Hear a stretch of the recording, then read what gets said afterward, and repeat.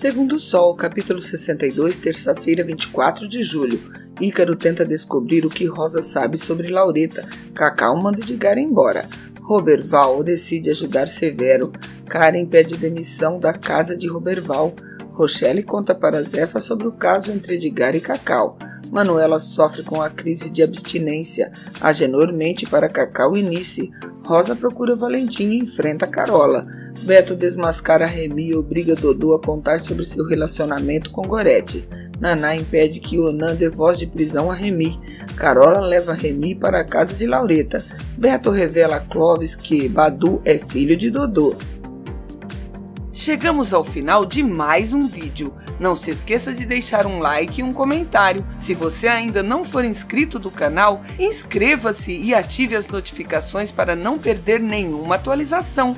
Até o próximo vídeo!